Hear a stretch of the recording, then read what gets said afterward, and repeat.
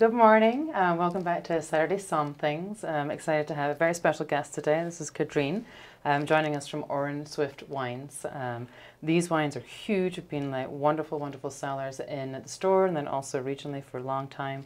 The history of these wines is really cool. Um, I'm kind of thrilled to get a chance to taste these wines. I haven't tasted these in years. Um, back to steakhouse days, we worked with Palermo and Mercury Head and these big wines, and they were incredibly popular. Uh, Prisoner as well, we kind of touch on the connection there too. Um, did a really, really good job of increasing Denver's wine scene popularity. I think the weight and the textures of these wines make them stand out from a lot of what's on the market. So they're instantly accessible, enjoyable, and thrilling. I'm going to a baby shower after this, and I'm excited to have a little buzz. These are not your breakfast wines, um, but again, really excited. Um, Yeah. Cardene, welcome. Thank you. Um, we are thrilled to have you and excited to keep this partnership going in the future too. uh, Absolutely. celebrating the relationship. Now, as I said, I haven't tasted these in quite some time, so I'm going to let you school me, educate me, give me all the presentation, and then of course we'll have some nerdy wine questions to throw in there too. Absolutely. if you want to introduce yourself and maybe talk a little bit about the Dave Phinney story and the history and get us all caught up. So I am uh, Cardene Otsuka. So I, I hold my WSET diploma and I'm an educator here in Colorado, as well as working and representing the, the wines from Orin Swift. Uh, Dave Phinney. Uh, most people know Dave because he made the famous blend The Prisoner. Uh, he started his winery in 1998 after he moved to California in 97. His first harvest was actually at Robert Mondavi Winery. Uh, and his first vintage of Orin Swift was in 98 with a ton of Zin that failed miserably. he ended up selling it all, it all off as bulk juice and tried again in 99 and did successfully make 100 cases of Zin in 99. But 2000, another terrible vintage for Napa Valley, he uh, harvested all of the Zin and realized he couldn't make a Zin dominant or Zin labeled wine. Uh, so he threw everything else he had in the winery into the blend, and that was the, the birth of The Prisoner, which became a very famous red blend and put Dave on the map as the master blender for Napa Valley. The other thing that Dave is credited for, as you can see by the labels, is his graphics. Uh, Dave loves to say that he's a graphic designer at heart. Uh, he loves the creative process in making the labels. Uh, and that's part of his job. He, he handles vineyard work, he handles cellar work, and he handles the labels and packaging themselves. And he's very into the whole creative process that goes into the label creation. And he, his whole goal was to create something that spoke about him, spoke about the, the wines that he was making, and really just popped on the shelves. It was not traditional by any means. Um, these were, I mean, in the early 2000s, you would never have seen a label like this on a wine shelf. So these definitely stood out at the time. I think too another thing that is noticeable is that the weight Yes. of these bottles. Like Yep. they're they already kind of set a tone. It's like when you have a really fancy glass. Yep. When you pick up a nice delicate glass, all of a sudden like the biggest 300 pound dude all of a sudden becomes very elegant and graceful with a little glass. But then the same thing I think also happens. It just sets the mood and the tone for what you're about to drink. Like, Yep. This is not pretending to be seven and a half percent Moscato No. at all. no, this is all about luxury and top quality. That is Dave's mission. Every every single vintage is to make the best wine that he can. He will never say that he's ever made his favorite wine.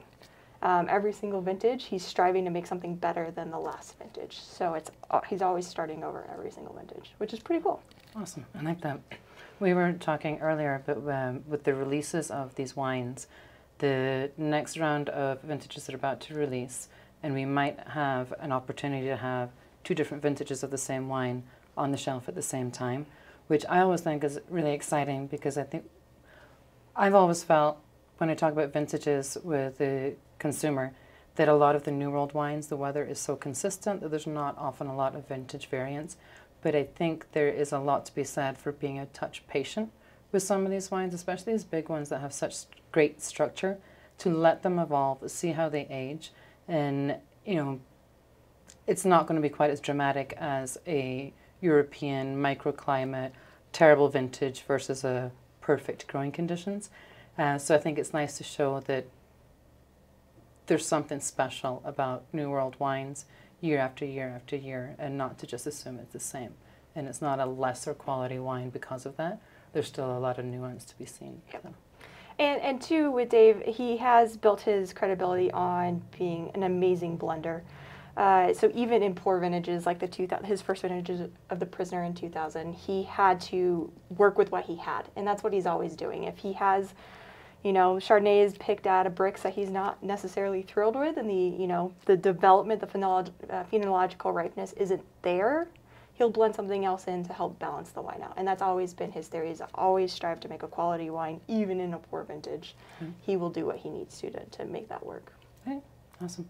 Well, let's get into the mannequin.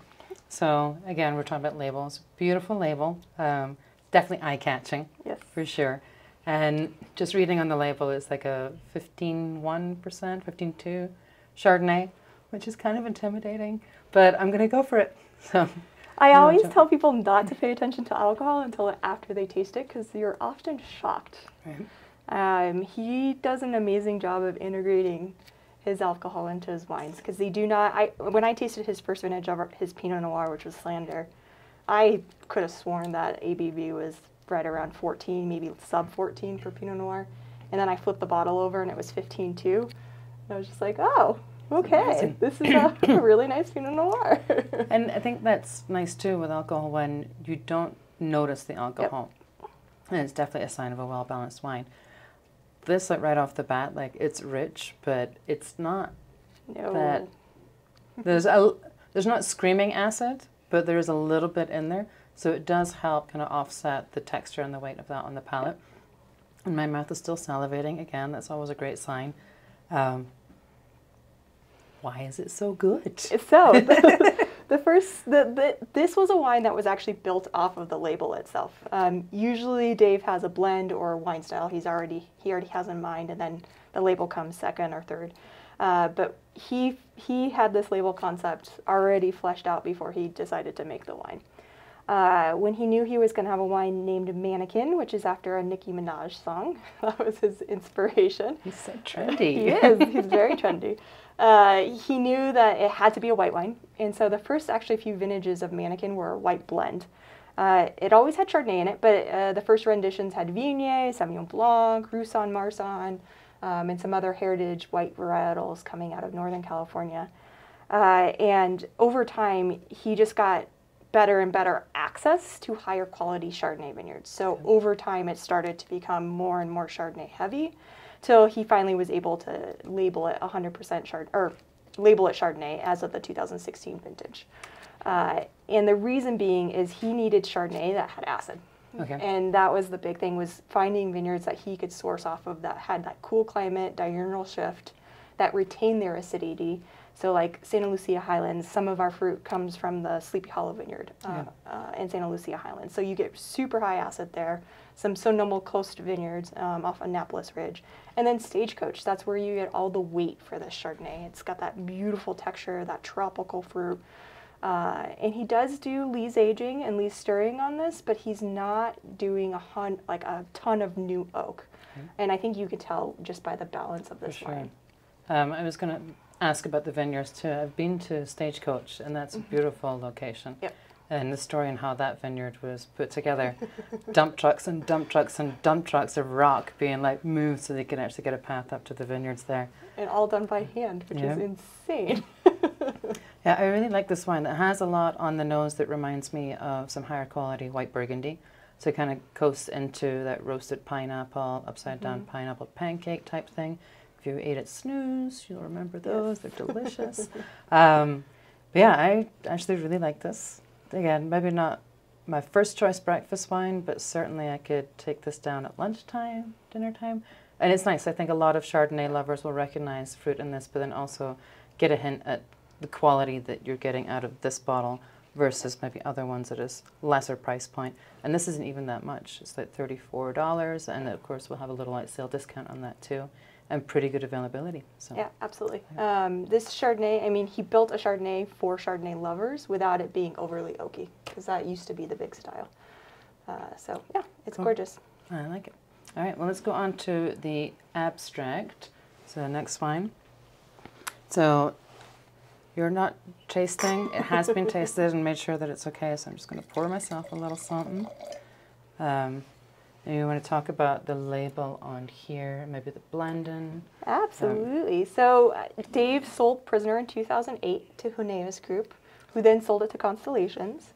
But in 2008, he had to sign a non-compete contract. He could not touch or work with Zinfandel for eight years. Oh. So when he did that, he had to come up with a new red blend, okay. which was the birth of Abstract. It is Grenache based. That's actually one of his favorite varietals to work with.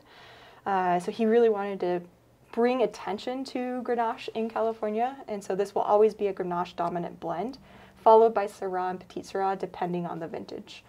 Um, the first rendition of this wine actually got in trouble for copyright infringement because the Elvis on the label was a lot bigger, a lot mm-hmm. more prominent. The glasses weren't scratched out. John Wayne, his mouth, if I can find it, yep, here it is his mouth wasn't adulterated on the original label, and that's why he got in, in trouble for copyright infringement. So Prince. Yep, Prince is on there. The Queen is on here. Ernest Hemingway is on here. Oh, fun. Uh, but they're all uh, labels that he clipped out of magazines while traveling um, across the globe because Dave's also responsible for locations, which is a wine that's sourced from different regions in the world.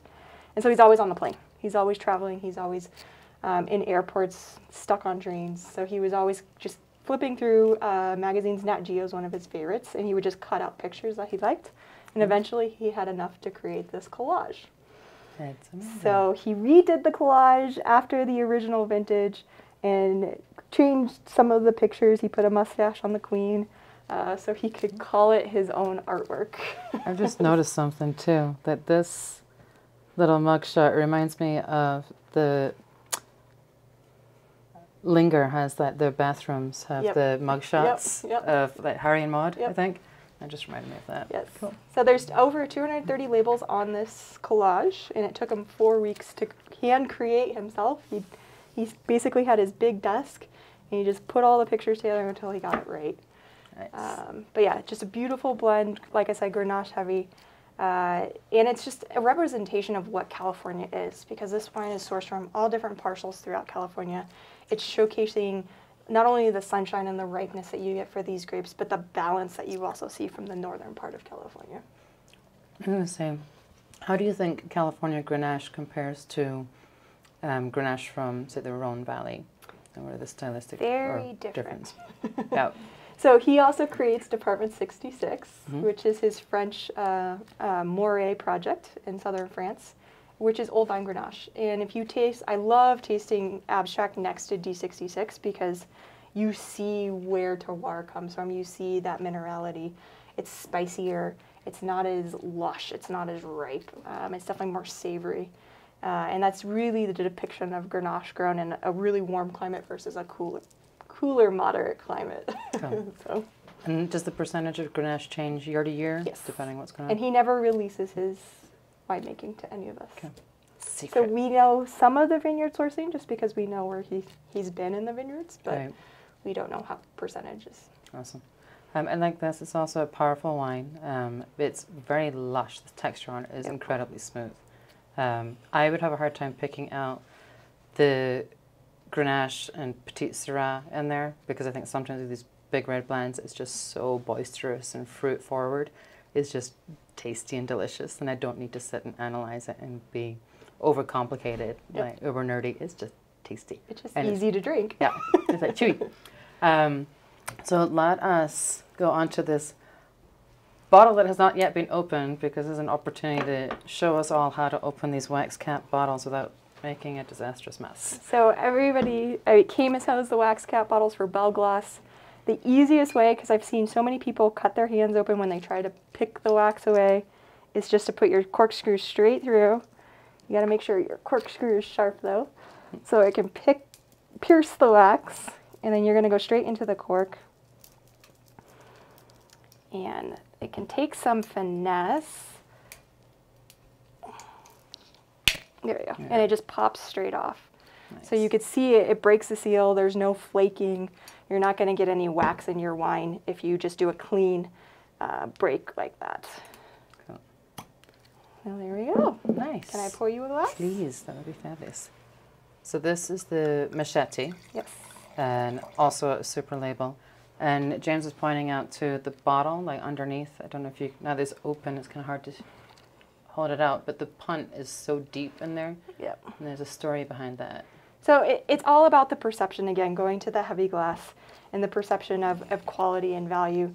He wanted to create a project that you knew what you were getting. You knew you were getting a beautiful, high quality wine. And most consumers, if you go through analytics and data, they associate quality with weight, which is not so great for sustainability, but it is uh, great for that perception. So he wanted a big, heavy bottle. And to do that, that's why there's such a deep punt. Um, he also wanted a burgundy shaped bottle versus a Bordeaux bottle. Again, that deep punt is because of that. Um, machete. So machete is a fun story because it's the exact opposite of abstract. It's petite syrah heavy Okay. with syrah and grenache as the blending components. So it's fun to taste those side by side because you can really see, to back to your earlier observation of what is grenache and what is petite syrah, because I think mm-hmm. these two kind of show the, the different characteristics. I think it's gonna instantly that it's big and spicy. Yep. I mean, you get people who come in, they want a dry wine, they want a spicy wine, and a full-bodied wine. This hits all those points. Um, I want barbecue right now. Just- So if Yeah. we get snow tonight, like we're mm-hmm. supposed to, this with short ribs is mm-hmm. amazing on a really cold night. So um, our, our dear friend Motts has already called dibs on the leftovers Yes. for this. I, I don't blame him. It's, it's a really fun bottle of wine. But that Petite Syrah is just staining. Like it's boysenberry, blueberry, just really rich, really decadent. Uh, it's definitely a mouthful. So I remember um, a different winery had described some of their wines as molar coaters. Yep. So the wine just like coats your molars and stains them. This is absolutely one of those. Yep. And I don't know, I definitely pick up the oak more on this too. yes. So there's a ton of vanilla in here. It's almost desserty. It's not a sweet wine by any means, but it has like really indicators, like sweet indicators that kind of Yep. remind people of other flavors that Definitely. it's a huge. So eight months on abstract and 12 months Okay. on uh, machete for oak. So that is another big difference. And a lot of times at, at wine dinners, when we are doing an Orin Swift dinner, we will actually pair machete with dessert. So it works really well with dark chocolate. So that's Mhm. my recommendation if you want a great non-dessert wine for dessert. I love it. Good stuff. Um, well, this was illuminating. I, again, have had my mind and perception changed, and I think it's one of the best things about wine and tasting wine and going back to visit things that maybe you didn't like before, didn't realize, didn't appreciate. And obviously, very, very special wines. So, really excited to get a chance to taste them. Um, speaking of tasting and glasses, I did just want to point out we switched our glassware last week into these beautiful Spiegelau. Um, these are Austrian glassware company. They're fantastic for wine tasting. We sell them in the store. They're $8.99 line price. There's a white wine, a red wine, a great big Bordeaux glass, and a champagne glass as well. So wine does taste better out of nice glasses. It does. It's a thing. It's for real. Um, so I highly recommend trying those. And an unsponsored tote. uh, These are my my personal tasting glasses that I travel with to all my exams. So I, I love Spiegel. They're they're great glasses. Tried, tested, trusted, and Yep. true. Uh, well, Cardene, thank you so much for joining us. You're welcome. Um, we will have a little display of these wines up by the register. Those will be ready for you to pick in, pick up, swoop in, and grab them whenever you are ready. Um, Orin Swift wines. There's more where this came from, and hopefully we will get a chance to taste those soon. Okay, thank you. Cheers. Cheers. Thank you. Cheers.